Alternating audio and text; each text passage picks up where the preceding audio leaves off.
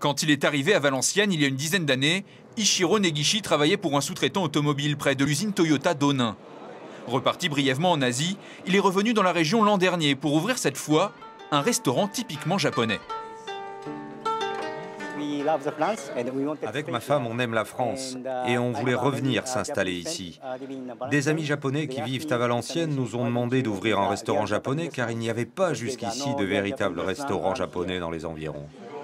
Au menu ce midi, du radis cuit mariné, des beignets de poisson, de potirons et de crevettes et du poulet grillé.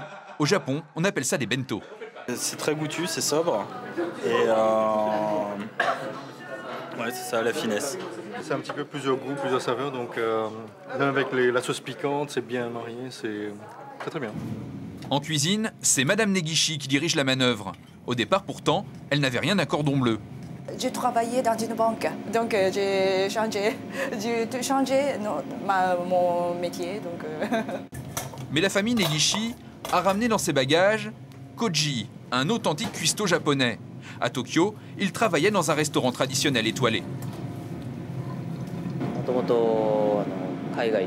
Je voulais partir travailler à l'étranger depuis un certain temps. J'ai donc cherché du travail sur Internet et j'ai répondu à leur petite annonce. Le midi, la clientèle est essentiellement française. Les habitués japonais, eux, viennent surtout en soirée après le travail. Chacun a sa petite bouteille d'alcool réservée. Ici, celle de Makoto Sano, le PDG de Toyota France à Valenciennes. Les bouteilles de sochu sont très difficiles à trouver en Europe, alors on les fait venir du Japon et le client est content. Une centaine de Japonais vivent aujourd'hui à Valenciennes, mais les amateurs de cuisine nippone, eux, sont bien plus nombreux dans la région. Chez Negishi, on affiche souvent complet.